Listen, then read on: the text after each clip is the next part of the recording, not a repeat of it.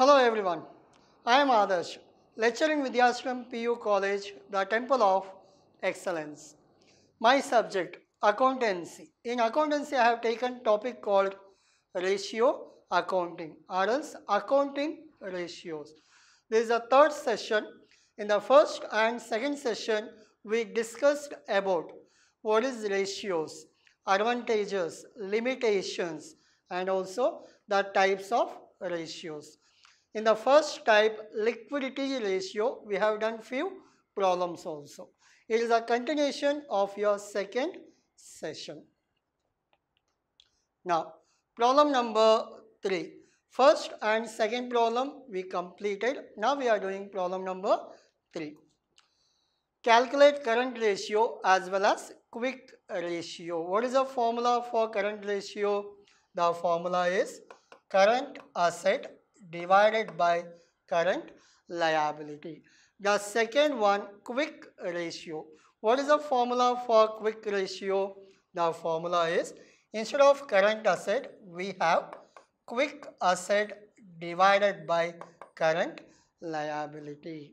Current liability will not change in both the formulas. It will remain same.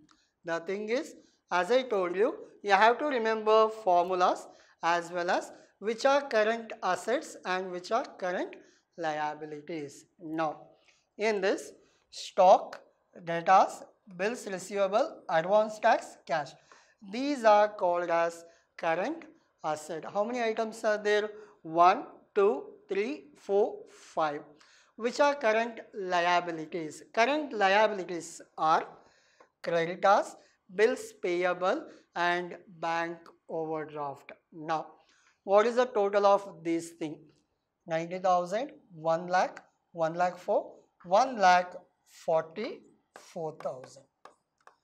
What is the total of current liability? The total of current liability 60 plus 40, 1 lakh, 1 lakh plus 4000, 1 lakh 4000. Now, you got current asset also, you got current liability also. We'll go for the solution. Now, current asset, as per our calculation, how much we got? 1 lakh 44. Your current asset is 1 lakh 44 and your current liability, how much we got? We got 1 lakh 4. Now, current ratio formula, current asset divided by current liability. Now, current asset divided by current liability, what is your answer? 1.38 divided by 1. You can also call it as 1.38 is to 1. As I told you, your denominator or base always should be 1. Now, quick ratio. What is the difference between current ratio as well as quick ratio? The thing is, in the current asset, we will not consider, I'll go back. These are your current assets. In this, we will not consider stock, we will not consider anything which is prepaid or advance. Now, how much you got? 1 lakh 44. Out of 1 lakh 44, if I cancel 50,000, if I cancel 4,000 means 54,000. 1 lakh 44 minus 54. How much you will get? 90,000. Your total quick asset is 90,000. Current liability already calculated.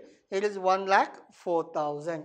If you divide your answer 0.87 divided by 1.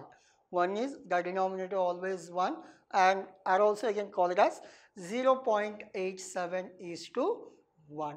This is your 6 mark problem.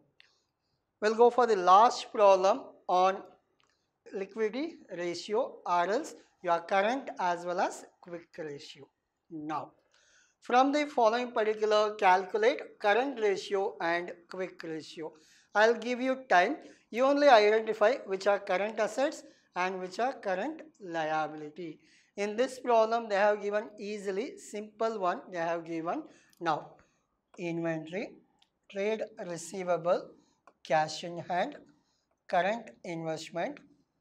Up to this, we call it as current assets. Now, trade payable, proposed dividend, bank overdraft. These three are called as current liability. Anything which are payable, we call it as current liability. Now, again same procedure, add all current assets. Again same procedure, add all current liability. Now, this information for your current ratio. What about quick ratio? Quick ratio, same information we consider, but we will not consider two things, which are those inventory. The another name for stock, we call it as inventory. And one more thing, is there anything prepaid in this? No prepaid in this. We'll go for the solution. Now, see your current asset as we calculated, total current asset 2 lakh 40,000. Current liability as we calculated, your current liability 60,000. Now, 2 lakh 40 divided by 60 plus all three, it comes put together 3 lakh. 2 lakh 40 divided by 3 lakh, your answer is 0.8 divided by 1. Every problem are similar, but you have to be familiar with which are current asset and which are current liability. Now we'll go for the quick ratio. Quick ratio, quick asset divided by quick liability. As I told you, only one thing we have to remove in this problem which is that inventory. Inventory will not belongs to quick asset. Now, we have removed inventory. We have considered these three. The total is how much? 1 lakh 20. Current liability will change or will remain same? Yeah, current liability will remain always same. Now, 1 lakh 20 divided by 3 lakh, what is your answer? 0 0.4 divided by 1. Your final answer you can call it as 0 0.4 is to 1.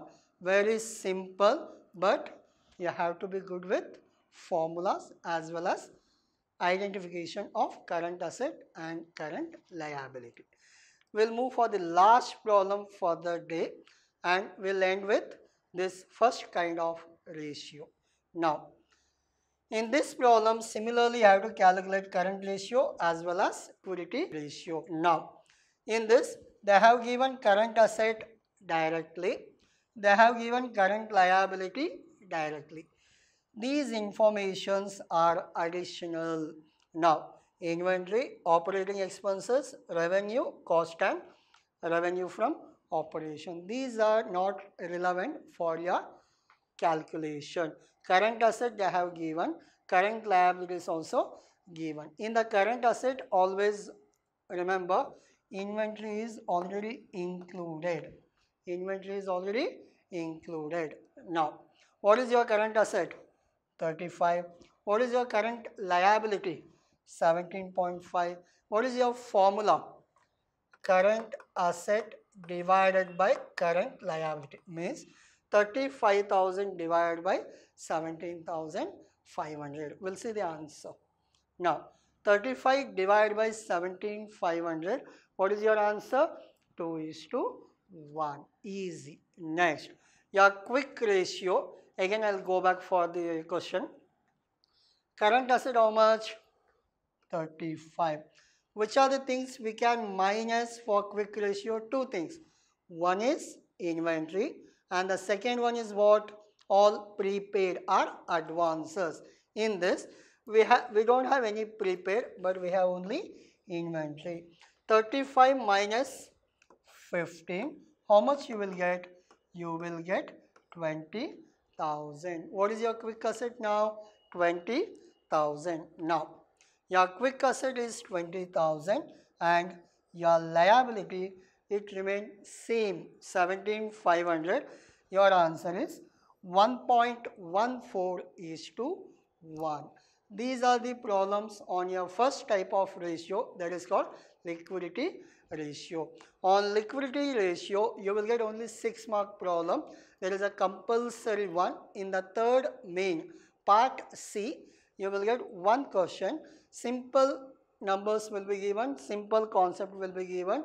Only you have to do two ratios, current ratio and quick ratio. whatever problems you have done, similar on the same basis, you will get problem for your exam also. In the next session, we'll go for the second type of ratio. Thank you.